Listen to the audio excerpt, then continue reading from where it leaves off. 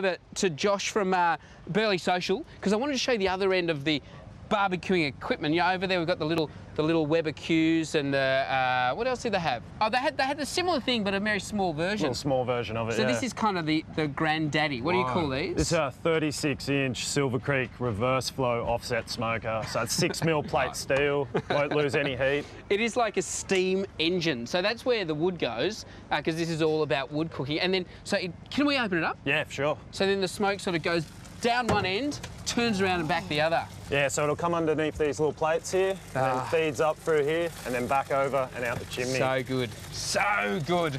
I wish you could smell it. Andrew, just quickly, Yes, a lot of JJ. people talk about you being a lawyer turned TV presenter. Mm-hmm. If you were a lawyer Mm. turned barbecuer, you'd be a sous chef.